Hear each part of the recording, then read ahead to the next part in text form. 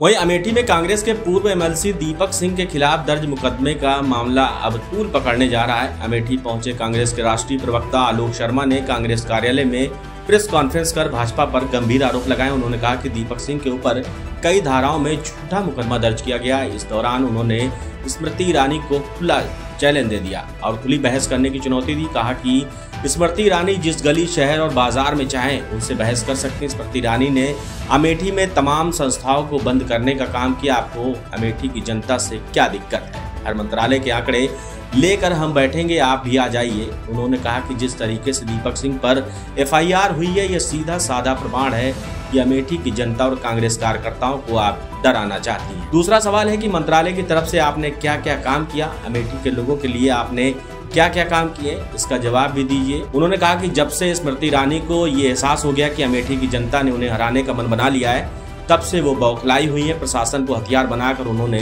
अलग अलग तरीके से एफआईआर और दबाव बनवाना शुरू कर दिया है।